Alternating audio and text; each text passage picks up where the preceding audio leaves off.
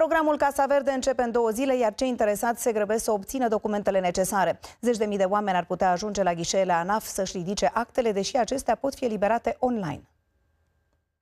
Programul Casa Verde are în acest an un buget de 2 miliarde de lei, ceea ce înseamnă că aproximativ 90.000 de gospodării pot beneficia de finanțare. Deși documentele se pot obține și online, în unele cazuri oamenii stau la coadă cu orele la ANAF și la primării. Doar la Administrația Județeană a Finanțelor Publice Ilfov s-au depus acum peste 1500 de cereri.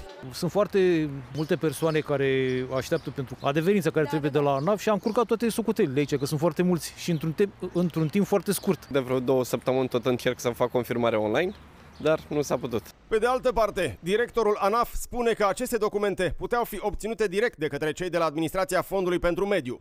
Agenția Fondului de Mediu din 2018 este înrolată în Patrimven și ar fi putut să iei din acest, din acest program certificat de atestatare fiscală pentru orice cetățean care depunea la dânsii proiectul și se evita să ne aglomereze pe noi și să se creeze o mare nemulțumire la sediile ANAF-ului. Pentru zona București-Ilfov, înscrierea începe pe 19 mai și se termină pe 23 mai.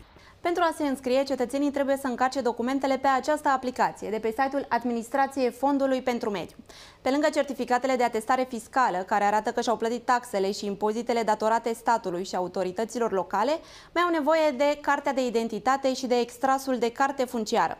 Pentru a evita cozile de la ghișee, autoritățile le recomandă doritorilor să își creeze un cont pe site-ul ANAF, aici la secțiunea Spațiu Virtual Privat.